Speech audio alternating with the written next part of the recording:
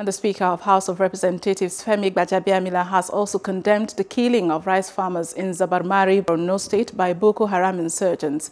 Gbajabiamila expressed sadness over the killings of the innocent rice farmers in a statement by his spokesman Lanre Lasisi on Sunday in Abuja. The Speaker said the incident had once again brought to the fore the need for more military action against the terrorists.